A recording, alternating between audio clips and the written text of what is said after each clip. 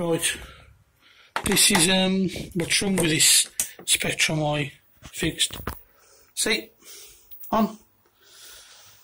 And you think, great, and you think, well, apart from I haven't plugged the keyboard in, and then it just does that. It just keeps flickering on and off.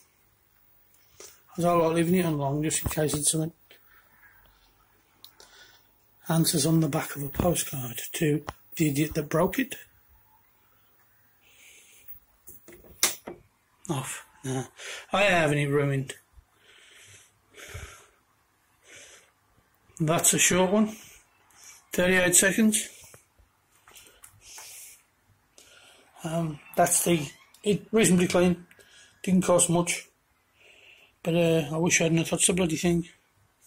Typical.